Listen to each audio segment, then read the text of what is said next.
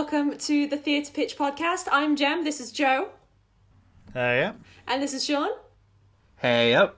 I, I like the way of keeping you guys on your toes every week. There's that tension that I can feel when it's like, what, who's she going to come to first?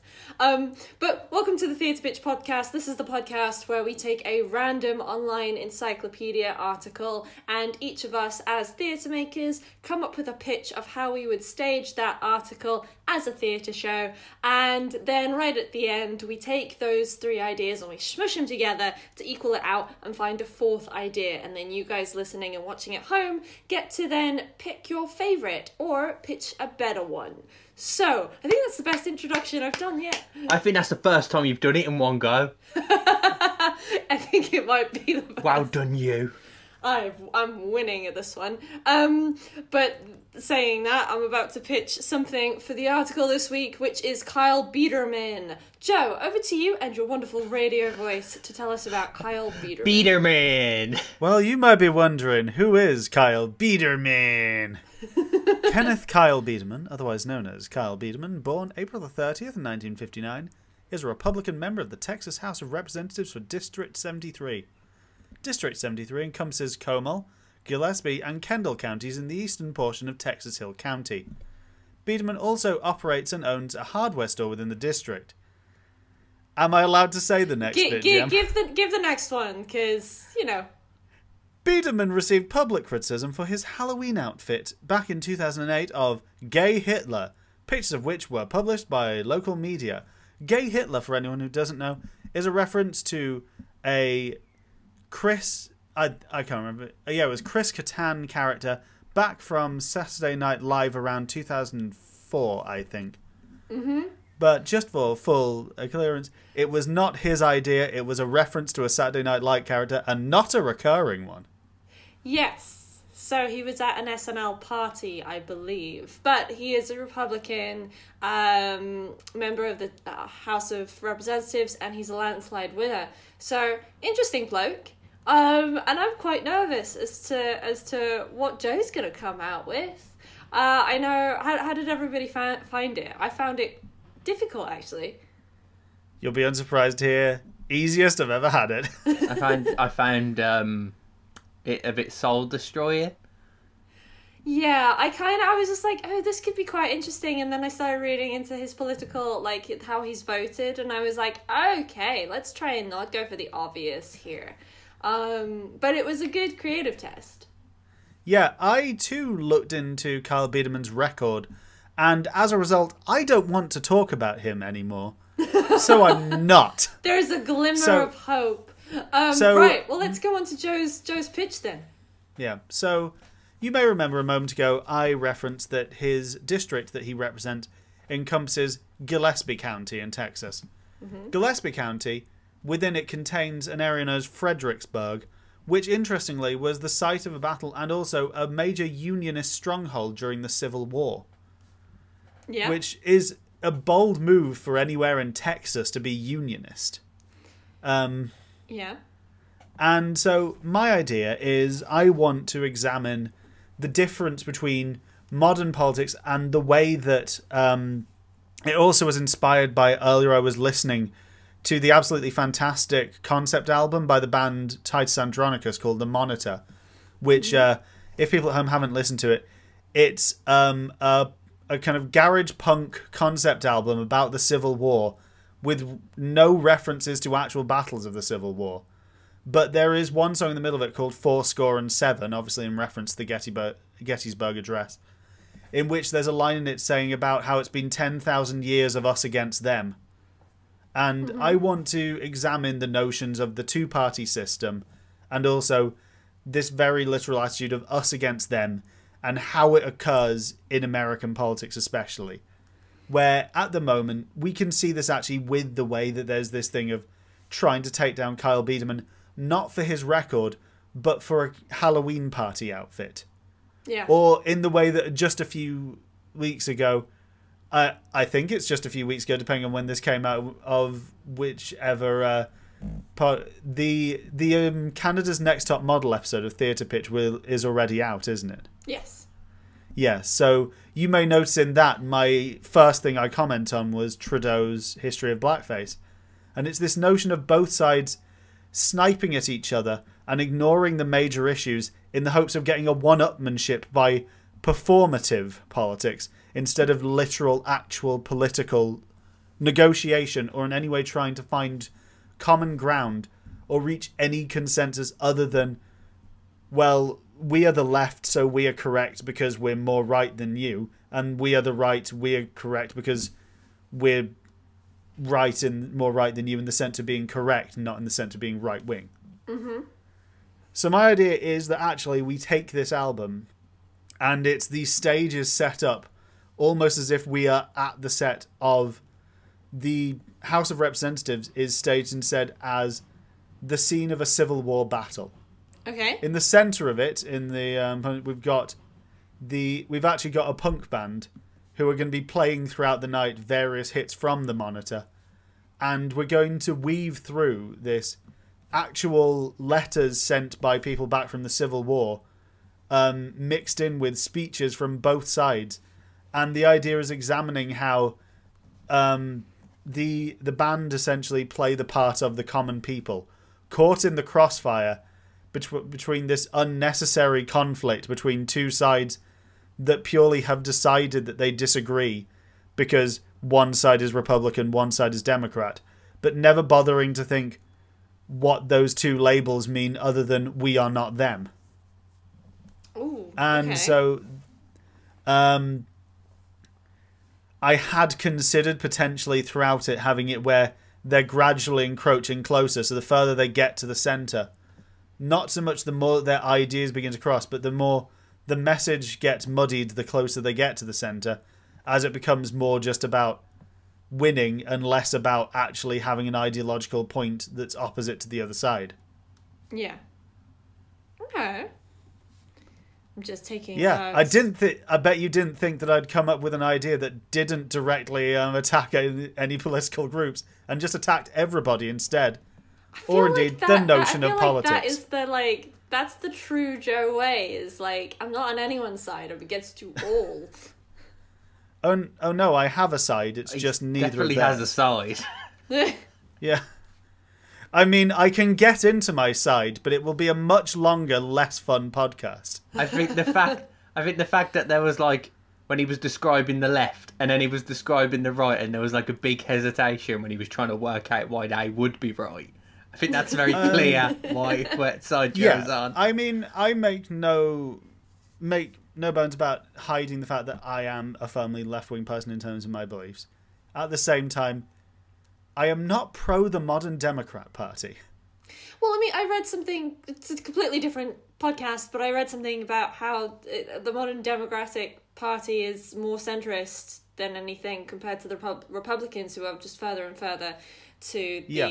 other side. So it's well, it's it's, it's that's it's a whole also different podcast. it's this kind of like performative liberalism, as I say. It's um, it's like uh, have both of you seen the clip where it was Trump was giving the State of the Union, and Nancy Pelosi was basically making faces behind him and yeah. Yeah. Ripping up the refusing to clap and giving him a thumbs down. And it's like, no, don't try for point scoring. Don't try just making a show of being like, oh, isn't Trump a loony? No, mm. actually pose a firm and accurate reason why you are the opposition. Pose a reason for it. Be a politician. Do your fucking job. Be a politician, not a kindergarten school kid. yeah, exactly. Yeah, I get that. I like that. So that that is the essential message of it. Is also you're politicians. You're not fighting in a war. Stop treating it like you're the same as the soldiers who fought for your freedom. Just get on with it and just do your fucking job. That is the message Yeah. of my show. I like it. I like it. It feels like it, it echoes. So is it? Because it, it it's echoing quite a lot of what Hamilton does for the modern era as well. As much as it's the story of Hamilton, there's a lot of further subtext in that. Is Yeah. it a straight play or is it? But you've got this musical element. Is it a musical or is it a play with music? It is um it is a play with music. Okay, cool. So um there is one point during the aforementioned song Fourscore and Seven where both sides join in which is just one point where there's a rallying cry towards the end of the song of it's us against them, it's us against them, it's us against them, and they're winning. Mm-hmm. In which I want both sides seeing the same thing because it's this attitude that both sides believe that the it's the other side who started it, and it is the other side who is trying to get the upper hand, which is why they have to fight back. And about these these empty gestures of positioning the other side as the enemy purely mm. because it's easier to pose reasons why you aren't someone and why you should be um, a leader because you're not them than it is to pose a reason why you should be a leader because of anything you've done. Yeah. Which is actually that, that links oddly. When when you were when you were pitching, I was like, oh no, he's pitching my show, but in a different context, which I think you kind of have. Um, I just took a really really artsier route. Um, so should I go next and sort of swap swap it up so Sean gets to close the show? I think so. Yeah. Yes. Um. So That was my- a great segue. Also, can can I just say Yes. one thing that I really picked up? Uh-huh. Gemma said kindergarten. I did say kindergarten. She's really Right. getting into the American spirit. I was about to right. say we're talking about American politics here. My my head my head's switched to. Yeah, so I was translate. listening to this album uh, while I ate a PBJ on the sidewalk, and then um, my my You MP3 player curb. died, so I threw it in the cat trash can.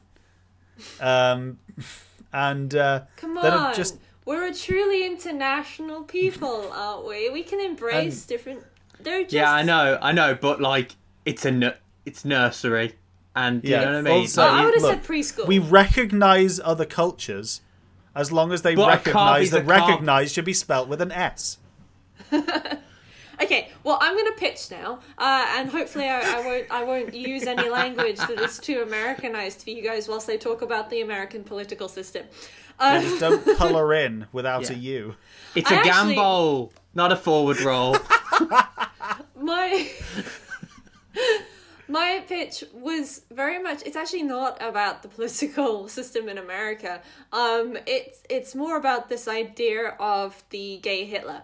Um because i thought i'm just gonna run straight into that one. But my my show because I was thinking about this idea of of of politics and how theatre is inherently political, but uh, after getting into a conversation about this with um some one of my friends, I was just like, no, you're you're misinterpreting my point. It's not political as in. Uh, voted politics, parliament politics.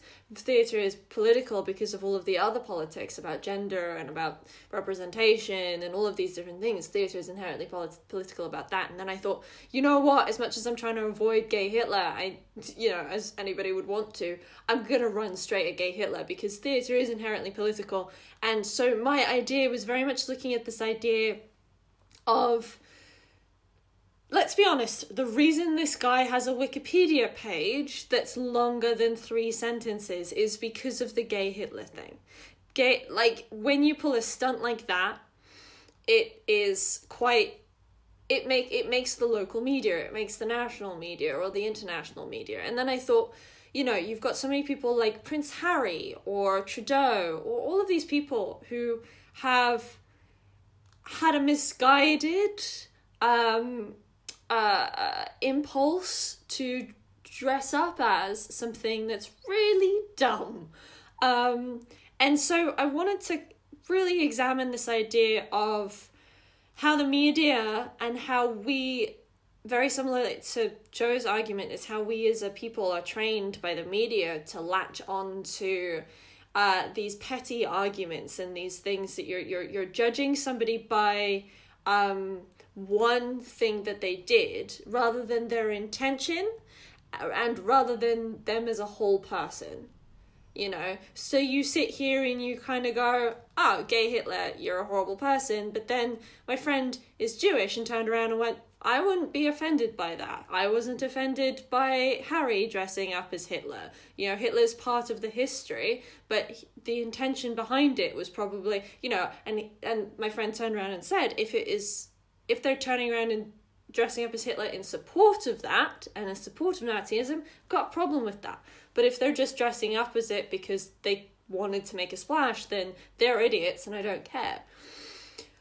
And so that kind of got me thinking about all right, let's take let's make a show, and we're gonna go down the really artsy route of the audience are it's it's like a performance installation where the audience are introduced to um, a series of people as their two counterparts. Their mediarized counterparts, so the guy dressed as gay Hitler, Harry dressed as Hitler, uh, Trudeau in blackface, all of these. You're introduced to these people, but then you're also introduced to, on an anonymous level, another group of people who are more in, are more the reality, are more the intention. You know, so pulling real statements from people and their intentions behind why they did these things. Because I did, I, I, I went a bit further than this article and I read up as to why Biedermann did this, and he turned around and said, you know, it was purely pulling up a, a, an interesting character that he enjoyed on SNL. Um, so it was actually quite an innocent motive that just wasn't thought through. So it's kind of this installation where you um, encounter the reality and the full 360 truth of of situations versus what the media shows you it's kind of an examination of how the media portrays things as well um it, when I, I was thinking if i was to direct it i'd really really want to be working with um a really good scenographer and set guy to turn around and say or set girl to turn around and actually design this as a really um intricate piece of artwork as well. Um, I'm using digital art as well because we've gotten really into that. But yeah, it was kind of just one of those things that was exa- examining that, and it was very performancy, sort of performance arty, uh, rather than straight up theatre. But it's it's looking at this idea of how, how the media and how we, even in our everyday friendships, turn around and with the people that are in our lives, we turn around and go, oh, that person posted that thing or did that thing that's really misguided. But we immediately want to demonize them. We immediately want to categorize them with that. And the, the, the effort to stop, think, and consider somebody's actual true intentions and question your knee jerk reaction, that's not something a lot of people, I think, uh, have, especially at the moment. So it's a case of yeah, it's kind of I wanted to prompt people to really think about that whole stop, catch, really examine what's actually happening here and the truth of the situation, rather than going you're a bastard, um, because you did X Y Z or you said X Y Z, and it goes down to even you know bringing up Jimmy Carr's jokes and uh, so many comedians who have fallen foul of the media because they've taken things out of context, you know. So yeah, that's kind of that was the idea, but it was interactive digital art um, as a series of faces with the actions and then anon- a- a- anonymous truths behind it and kind of bringing those together to, to, to reveal and say no this is actually the truth of the situation so that you kind of confront the audience with going you judged that person but you ju- you didn't judge them fairly. And you everybody thinks that they're fair but you're not being fair. So yeah.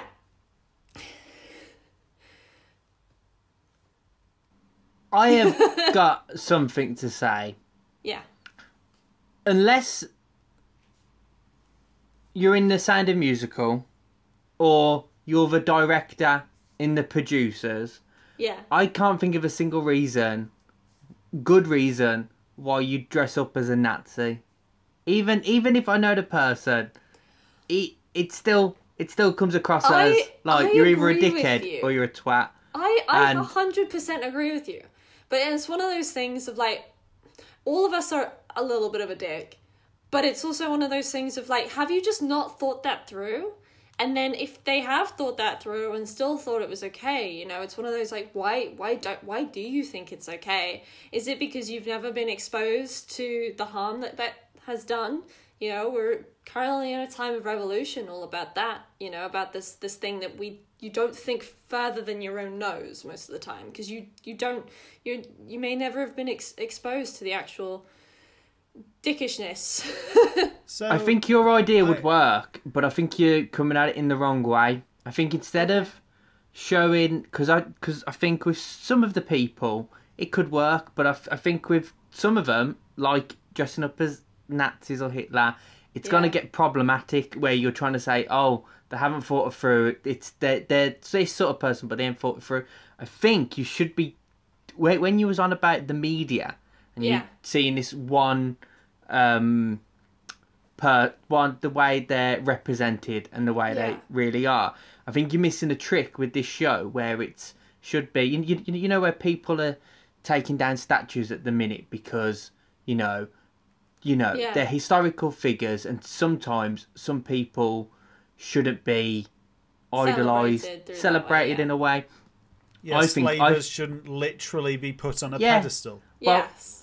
I, th- I think with I think with the the slavers, I think they're the easy ones to take down because they're like they've made money out of being slaves. They're like they shouldn't have a statue. But I think people with like I think some other people where it's a bit more problematic, like they've done loads of good things, but they've done loads of bad things. Yeah. But that was in the context of you know society. What was society like then? Yeah. I think you should your show should be they you see what what the person has been has become the image of the person yeah. um so like i mean i'm i'm gonna say it so take someone like churchill yes. churchill is like rep is like the image of victory Yes. um, winning the war, not giving up. Um, Great Britain, you know, he's the he's he's idolized. Now, is that person that's idolized? Is that the real person? And you could, I'm not saying do it with Yeah. Churchill, but I'm using him as an example. You could use people in history that have been idolized, and you know, so, so some of what it is has been like, oh yeah, ignore that bit. I feel like you should be doing something like that where you're um, addressing certain certain people that are celebrated. Yeah. Well, Instead well, of, if like- we want to take other examples, yeah, you can always look at, for instance, um, an example such as uh, Roald Dahl, who said in interviews that he thought there was some section of the uh, um, Jewish temperament or personality that um, leads them to be picked on, and where he could almost understand why it would be the Jews that Hitler would choose. Wow. Fantastic. You don't get that. We haven't book- forgotten, Roald. You don't get that in Yeah. his books. We don't forget. Yeah, you don't get that through his books. No, I, I, yeah, I think it's, I think it's an idea that could be quite interesting to go kind of further than the idea of just, you know, the gay Hitler edge and even the the the the, the, the historical figures edge. Because I mean, you could have that same argument with Churchill. You can have that argument about Obama, just because they're in a position where they have to do bad things in order to get good things for some people. But I think you can even turn around and if you're focusing on the media, you can even turn around and say like, okay, there are um there are some celebrities who are advocating for uh, good mental health and for, for people to, you know, like the I Weigh campaign. But they're getting absolute hatred from some people in the media because it's this interpretation of an out of, of, of an out out of context statement. Um, and you know, one of those things of like, okay, well, how how looking through the lens of whatever these these things have become when they outgrow themselves. You know. Can I just ask? Um, I I know I'm going to somewhat regret this because you described it as an artsy piece, but is there a plot? And if not, what happens in the actual play? There's not a plot. I think there's an there's an experience. So for me, the experience is that you you can't. Sean's rolling his eyes in quite a big way. Um, yes, that is the most typical Jem thing I could have said. Um, I think it's the case of you come as the audience, you go through the experience of coming into contact with something that you agree with, like Churchill is amazing, or you know whatever it is that we're trying deciding to choose. You know, you're you're coming into so you're you're coming at something that you agree with. It's boosted up so that you sit there and think, yeah, this is like I'm right, of course. Like, and you get that you rile people up in that same way that the media frenzies us, and then confront them with that with the truth and with the, the, the conflict, the, the inherent conflict of being human, um, and then have them walk away kind of questioning either why that happened or you know t- just kind of instilling that idea of think first before you retweet you know think first before you judge a book by its cover. Um you know do a little dig a little deeper check the date on an article No, no, I, f- I think the opposite. I think you should be doing the opposite. I think your show should be like, um, you know, you're saying don't judge a book by its cover. I'm, Yeah. I'm, I'm saying your show should be like, uh, this is the person. Oh, this is what this is what it is. But then you're like the alter ego. Is you actually like opening the book and like let's get so you- inside. so you want to break their heart I want. I'm just. I'm. I'm just saying because your original idea was, here, here's a person in a silly costume and they've made a mistake, and but this is this is this is who they actually are, and this is yeah why they may have made that mistake. And I, I don't like that because you're sort of like they've they've made a You're mistake, apolo- and like get it. It's quite you're apologetic. apologetic. Where I think that would work. That idea works, but you need to instead of like, oh, this is the mistake. You should be more like. This look, look at this person. It's, he's really cool. Oh, he's the best. Oh, blah blah blah blah blah. And you'll be like, hmm, don't be fooled. You know, Yeah. not- Being like, oh, isn't it cool? Winston Churchill stopped the war. Good guy. Oh, the same Winston Churchill who said loads of racist things and expressed a certain admiration for Hitler. yeah i think Oh, it- that they're I- the same man. Yeah, aren't I think that might have more of an um, impact without being diluted by, you know, the critique of it being quite apologetic on behalf of everybody. Because the main thing that I want people to come out of it feeling and thinking is, you know, it, that idea that not everything is chalked up to first impressions. And think further than your own nose. yeah. Uh, You should just be- To, just to do the old Paxman technique for a second, to apologise for this, but I do want to ask again what actually happens in it. Because you've said what you want people to go away thinking. It's and an kind of what you experience. want them- It's an It's an experience, not a story. But you've told us what you want people to experience, but you haven't told us how that actually happens. Well, currently, What Sean's just going blown the happen? original di- idea out the water by turning it on its head. So I'm gonna make shit up right now. Um, Good. I think that, like I think it's a it's a big it's an installation. It's in a gallery. It's not sit down theater. Um, you are you encounter through I I'd say interactive art. I'm gonna stick with that. Um, so it would be you much better to describe this as performance art than it would be as straight theatre. yeah, it's definitely more performance art. It's an experience. Yes, I'm gonna just refer to that soundbite. Yeah. I'm sorry. I'm- Okay, so you're pitching us the Jemi Hendrix experience. Got it? Yes, I am. I am the Jemi Hendrix, and it is the Jemi Hen. That not to not to be confused with the Jammy Hendrix, because that's a whole different show. okay, so Sean, do you want to pick up and blow blow my Um, idea out the water even more, but with your own one this time? I'm so excited. No. Um, I mean, don't don't be. Um, I I'm mean, so excited. Uh, you shouldn't be. Um, so, I um, saw the article and I read the article, and unlike you guys, I don't know if you've noticed during all of these, I get quite literal with the article. I try and like do the article, not like Yes. oh the article means this or da da da da. I'm gonna get over to here, or I try and do literally what the podcast says and do it. That's why I struggled so much with the river one. okay. Agreed. So um I was reading it and then as soon as I saw Gay Hitler, I was like, oh, I could do a musical. But then I realised, oh, someone already beat beat me to it. Mel Brooks. And yeah, I was about to say, and it's called The Sound of Music, Cabaret, The Producers. I was thinking producers. Producers is where you literally have a gay Hitler. Um, in there, in there. Well, you know, if no one's ever seen or heard of the producers, it's it's not gay Hitler.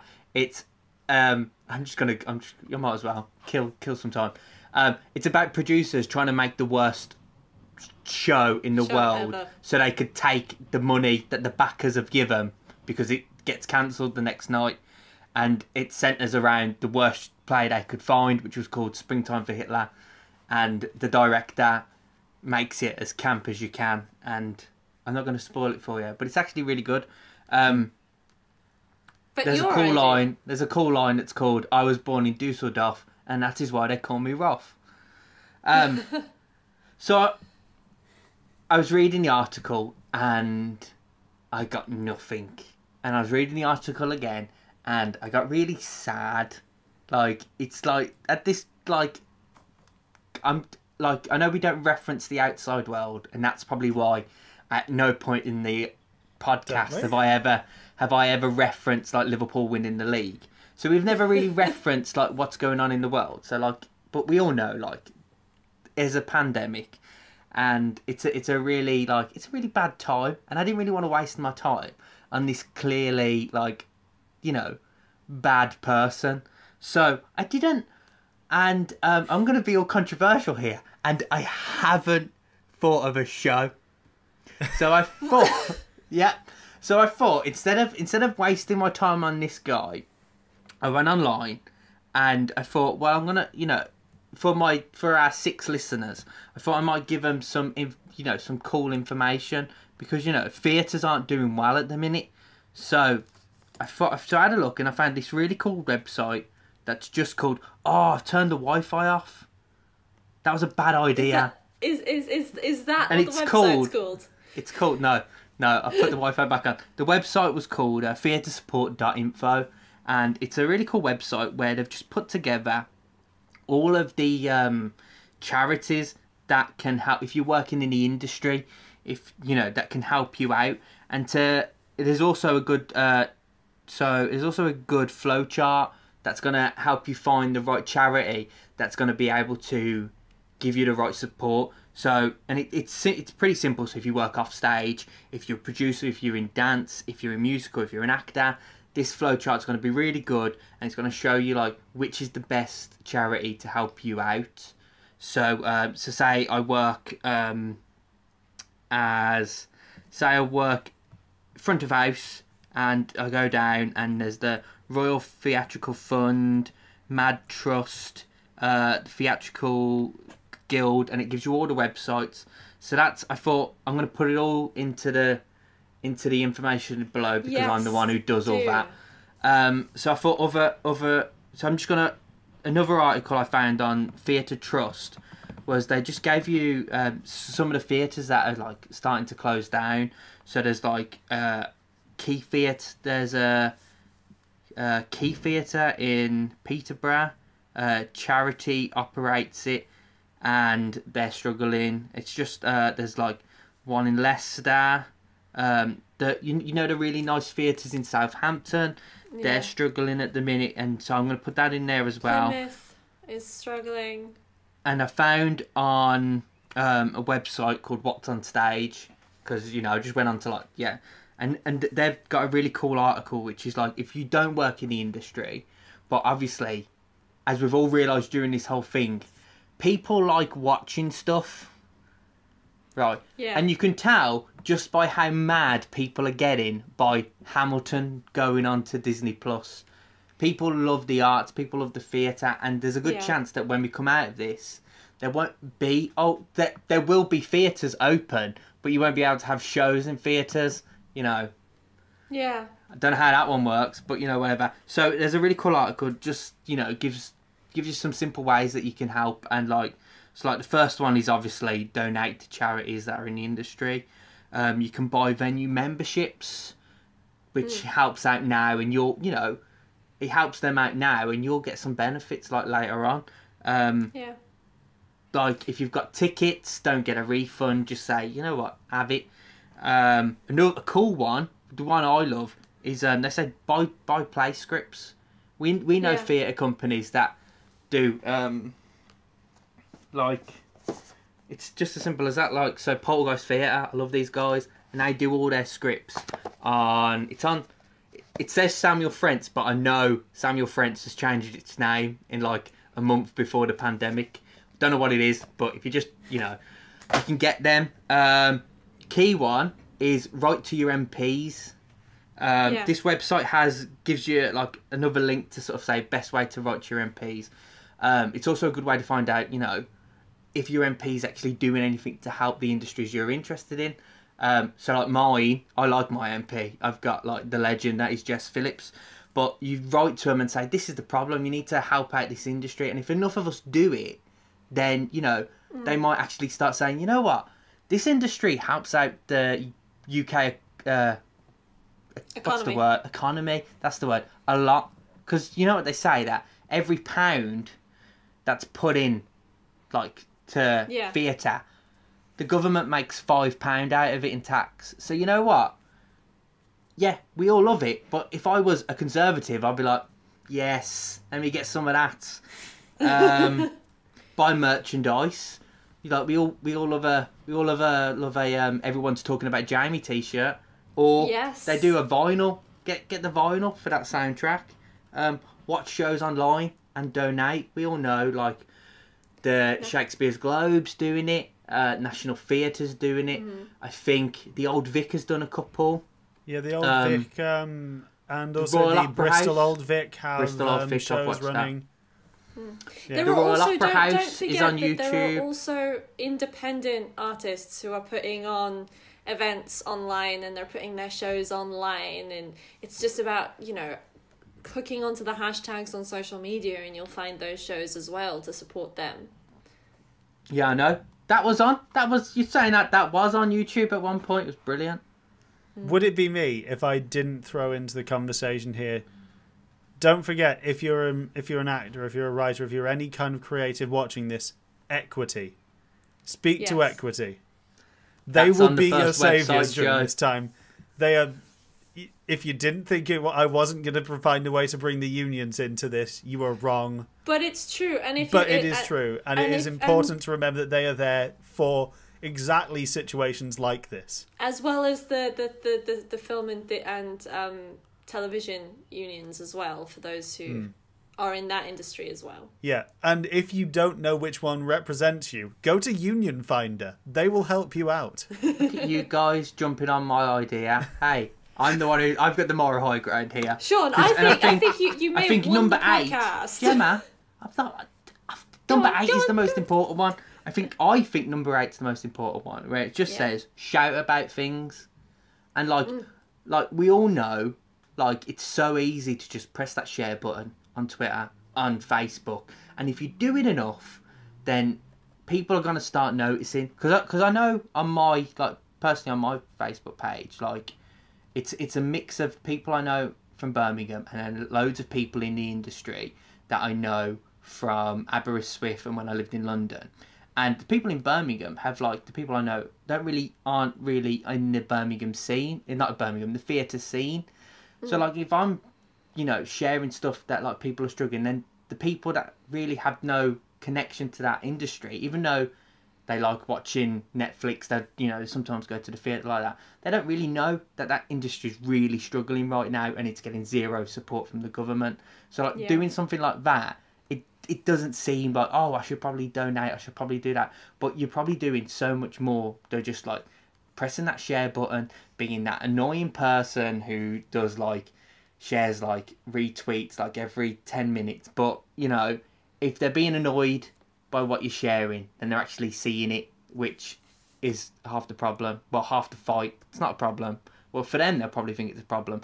But you gotta get you gotta get the message out there. And that was my non-pitch I yeah love it because I love how inherently political it is as well. Which so it's it's apt. It's apt. I like it, and it is true. A lot of people don't realize that a lot I of just wanna- are charities, and they they they run on uh, charitable structures and need need need a lot more support than uh, private businesses. I do want to say one thing though. I did try. Okay, I did try to come up with an idea. I did do some research, and the best thing I could find during my research was that Dr Pepper came from Texas. Can I can I just take a moment to say, Sean? I don't think I say this enough, but I love you, dude. I, you. I love you too, Sean. You've just kind of. Uh, I like the way you've gone. You know what? I'm gonna blow you both out the water Yeah. by not even So- pitching. Yeah, I know. But it I was, think the it was a thing is we ballsy can move, agree wasn't it? fundamentally, as Sean didn't pitch, out of me and Jem, I won. End of podcast. Yes, no, I think you did. I think um, now is Hey, usually hey, the time in the podcast. Gemma's is an experience. Yes, exactly. So I think at this So, time in the um, podcast, Jem- we usually go to uh, smushing all of the ideas together. Um, and you know what? I genuinely, genuinely like Joe's idea, and I wasn't 100% behind my idea. I was very much in the same situation as Sean was, which was I read it and read it and read it and went, I don't know. And nor am I particularly interested in trying to celebrate and or commemorate and or bring light to this individual or his plight or his story, which fundamentally that's what theatre's about. I just I'm not smart enough as Sean is to take the opportunity to then go, I'm going to use my voice. Yep. Get my message out to our six viewers. I was going to say for the end of the podcast, in case we needed it, um, my really silly joke for this week, which is um, two fun facts. One being the Unionist stronghold I said about within Fredericksburg was formed of 63 German soldiers, 5 American soldiers, and 1 Mexican. Also, Kyle Biedermann won his um, landslide um, second House term with 69,006 votes, which means between 63 plus 5 plus 1 and 69,006, there's two opportunities for 69 jokes in my play. which they shall and Nice. will be made. nice. Nice. Okay, so I'm gonna say, you know what? We're gonna lead. We're we're we're gonna go. We're gonna lead and follow in Sean's footsteps, and we're gonna say, bugger it. We're not gonna follow the rest of the podcast's format. We're gonna say no to the rules, and we're going to say that the show we're gonna do, if we were to turn this person and this story into a show, would be Joe's um Joe's We Are Not Them um show. the the title of it remains, as I said earlier, the quote from the song, which is 10,000 years of us against them. Yeah, 10,000 years against us, uh, with us against them. And hopefully, as most theatre will be, it will be in support of all of the artists who are currently sat there twiddling their thumbs, trying to get creative just to stay alive. Uh, and also keep something that they are very passionate about, we are very passionate about, and uh, most people are. So if you can, Joe, you, you what do you want to say? What do you want to say? I can hear you.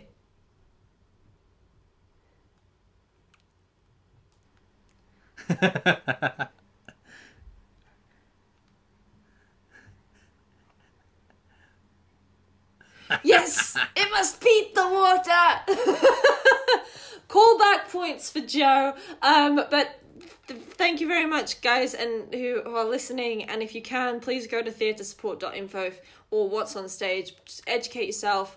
Um, go and support as much as you can. Pick your lane and help the theatre industry. Otherwise, this podcast has literally got no point. Um, so No, we could still do it. We just, you know, we might be different day jobs before the for the uh, for the Yeah. podcast. Yeah. it'll be it'll be here's the theatre pitch podcast. Theatre used to be this thing where Yes. it was people would go and sit down in their seats and a curtain would open and you would get an experience. experience. I mean, speak for yourself. I quite literally have a day job that is nothing to do with the arts. all right, all right. Right. Well, on that, on that experience, I'm going to jump to Sean. You're picking the next one. So I am. hopefully next week we still have theatre. Yeah, so what is it going to be? I just realised it's a good job I actually did do that whole thing of like going on and getting websites because I didn't have the Wi-Fi turned on, so it would have been bad for this point. Okay, so let's hope it's something good, something that I want to do. Ooh, ooh. Ooh. Okay. So, oh, oh, I've Yeah. completely forgot like the other thing I was meant to do. I'm Yeah. sorry. Blowing the I'm sorry. format out of the you know what I this mean? week. I just yeah, feel we're like just oh, breaking all the rules today. Screw you, format. after I dropped the mic earlier, I didn't think I had to do much more. Um, so if you, this is the Theatre Pitch podcast, and we are uh, OFITD Productions, and we sometimes do theatre stuff and other stuff and, and stuff, you know, when we're feeling like it. Um, and to find out what we're doing, we're basically on Instagram, on Facebook, on Twitter occasionally if I remember, but mm, yeah. um, we're some of our stuff's on YouTube, and if you just you know search OFITD or OFITD Arts with something, you'll find it. And um, if you want to follow me on Instagram and Twitter, I'm not really doing much at the minute. It's literally just self selfies of me like saying I haven't done anything today. Um, it's at still Shawnee B. And if you want to follow Joe, who's above me right now, it is You can do so at Not Joe Raczka. That's N O T J O E R A C Z K A. Follow me for all that good, good content of me resharing articles that I've written and mostly just liking things about Black Lives Matter movement. Also, if you do want to support independent theatre creators, every week I produce an independent, an independent improvised comedy sketch show on YouTube. It's called Boat Club. And you can give us some money back if you want to pay back to independent theatre creators Kidding. at ko-fi.com forward slash boat club. that On plug. that note, if Gemma, you are an Gemma, artist, it's me. No, it's no, no. me. It's me. I'm doing this bit. We had this chat at the start. I know, Right? but I want to. no, I just. no, no, I want to cheerlead. no, no. and if you want to follow Gemma, it is On Instagram, it's at OFITD underscore gem. Uh, and because we mentioned Twitter, and I forget about that most of the time as well, it's at Gem Rowlston. Uh, you can figure out how to spell that. But yes. I'm not going to do it. You Last done? week you were like, don't spell your name. So Oh, now I'm. I'm dropping my last name and, and wishing everybody luck. good luck. It's Are you- row like row your boats, LS like Lima Sierra, ton like a ton of bricks. Okay. Not like a ton of bricks. Gemma, did you want to plug anything? I don't have anything going on at the moment. Oh. I I'm I it the theatre industry shut down, John. And so is most of the film industry. I'm just sort of sat here going, Oh, alright. Well, then maybe you could use that time to make the videos we discussed earlier. Um, yes, I will. So, next week's article is it is gymnastics at the 1984 Summer Olympics. Ooh I'm seeing hairspray. Oh, it's Oh, the 80s? Yeah, I could do stuff with that. Um, so yeah, Gemma, would you like to end the podcast?